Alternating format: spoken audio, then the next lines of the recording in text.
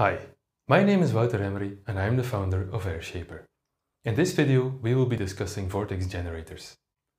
You may remember one of our previous videos in which we analyzed the aerodynamics of a vintage Volkswagen Beetle. We discovered that the airflow over the car detached somewhere around the rear window and the theory was that this happened because the downward angle was too steep for the flow to stay attached. Now let's dive into some theory to learn when this can happen.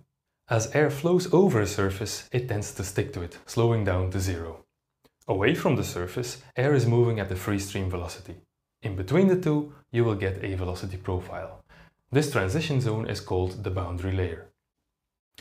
As the air in the boundary layer is moving slower, it contains less energy and less momentum than the faster air moving above. If the curvature of the surface is too strong, the boundary layer will not carry enough momentum to follow it. The faster, more energetic air above will tend to be dominant, wanting to continue on its horizontal course, pulling away from the surface, causing the flow to detach or separate. Locally, the velocity profile can even feature a reverse flow caused by an adverse pressure gradient, creating a rotating separation bubble. We saw this in our last Beetle test, where the tufts close to the top of the window were moving in the opposite direction towards the roof of the car. This separated flow can cause a large wake behind the car, causing unwanted drag. So how can we prevent this? One way of doing so is to simply reduce the curvature of the roof and the rear window. You can see this on modern streamlined cars like the Mercedes CLA. Another way is to install vortex generators. Now, vortex generators are small devices that improve the transition of momentum from the free stream air to the boundary layer, giving it the required energy to follow a curvature. Now a simple example of vortex generators are planes that are positioned under a slight angle with respect to the wind. As the wind hits the front of these vertical planes, it will create an overpressure. At the other side, it will create an underpressure. Now, as you may remember from our video tutorial on wingtip vortices, the air wants to skip over from the high pressure side to the low pressure side, creating a vortex on both of these planes.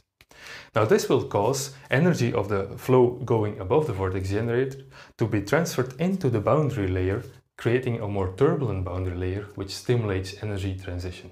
So we installed some high-tech paper vortex generators on the Beetle to see if it would work. Turns out that the position of the vortex generators with respect to the rear window is quite crucial, but in the end, after some tweaking, we found a position that worked.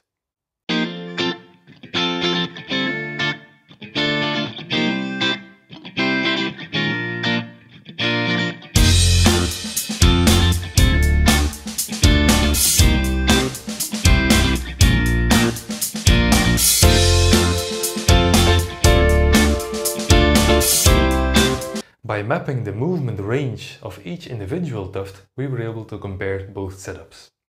Without the vortex generators, we saw a lot of movement and even reverse flow along the entire width of the top line of tufts. With the vortex generators installed, we saw that this movement was much reduced and reverse flow was even eliminated. So they tend to work, the vortex generators. That was it for this video. Thanks for watching. If you liked it, click the like button below please. And if you want to stay tuned for more, click the subscribe button and we'll get back to you soon. Bye bye.